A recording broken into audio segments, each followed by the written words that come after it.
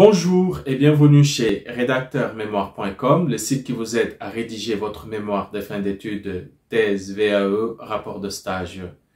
N'hésitez pas à me joindre sur le numéro qui s'affiche si vous avez besoin d'aide pour la rédaction de votre mémoire. Let's go. Pour ce qui est de comment se déroule la présentation de votre mémoire, il faut savoir que la présentation, il n'y a pas de présentation spécifique de votre mémoire. C'est-à-dire qu'il n'y a pas de trame bien précise pour le mémoire.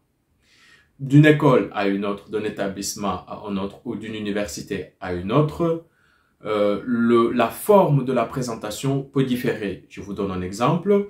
Une université peut exiger à leurs élèves de faire une présentation dans laquelle euh, ils vont avoir 10 minutes de présentation de leurs documents avec un PowerPoint de 8 diapos minimum, euh, avec des titres explicatifs, euh, interdiction d'avoir des fiches de synthèse euh, avec eux et par la suite de leur proposer 15 à 20 minutes de présentation. Donc ça, par exemple, ce sont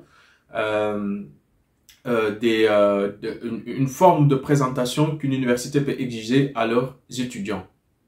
Maintenant, moi, je vais vous donner deux parties essentielles que euh, toutes les universités partagent et euh, que, vous, que vous allez retrouver euh, dans toutes les présentations de soutenance, que ce soit une soutenance d'école de commerce, une soutenance d'université ou une soutenance d'un TFE, école infirmier ou de droit, etc. Donc, ces deux parties sont, la première partie est d'abord l'exposé du mémoire. Donc, au niveau de l'exposé du mémoire, d'une école à une autre, euh, on peut vous imposer donc euh, d'abord euh, un exposé de 10 à 30 minutes.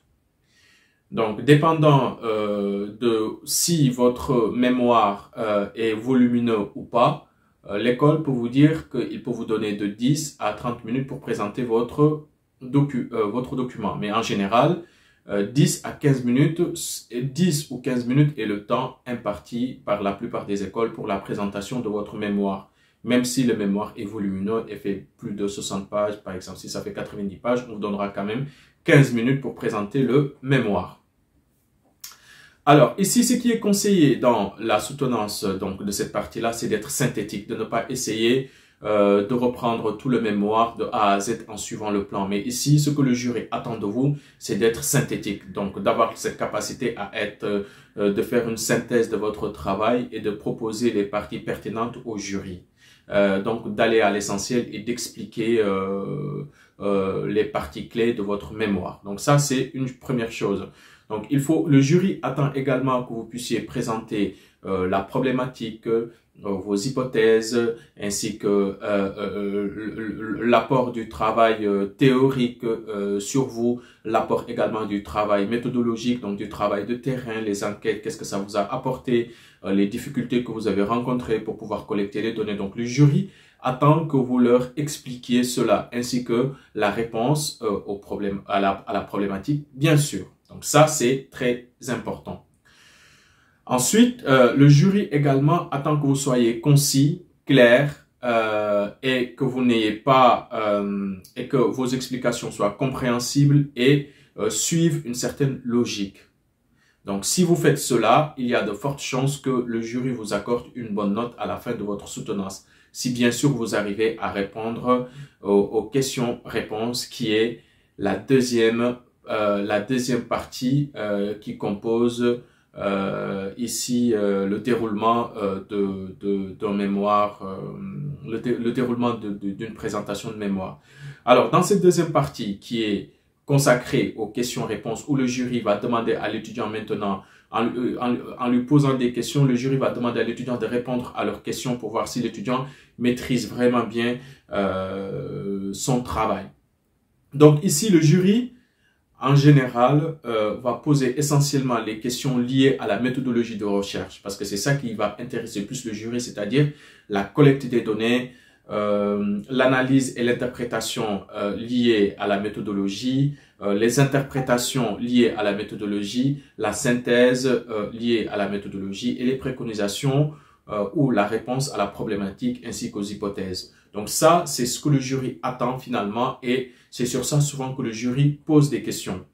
Le jury peut poser aussi des questions sur d'autres concepts qui peuvent être beaucoup plus, euh, euh, beaucoup plus spécifiques aux mémoires euh, ou des concepts particuliers qui peuvent figurer dans la revue littéraire, mais également dans le cadre conceptuel. Le jury peut également, par curiosité, quand vous avez abordé un thème en particulier, le jury peut vous poser des questions sur un thème en particulier qui a, qui a aiguisé leur curiosité. Ils peuvent sauter sur l'occasion pour vous poser des questions sur cela. Donc, ça permettra à eux donc de, de, de creuser euh, davantage pour en savoir plus par rapport à votre recherche et savoir si vraiment vous maîtrisez votre sujet. Voilà.